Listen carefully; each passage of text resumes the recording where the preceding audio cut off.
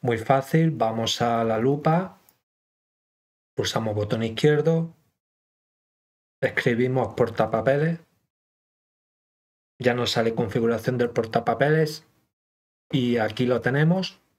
Activamos el historial y activamos sincronizar entre dispositivos. Por cierto, si queréis borrar los datos, pues aquí más abajo tenéis la opción de borrar. Y nada más, no tiene mucha más historia, así que que tengan un buen día, yo me despido, chao.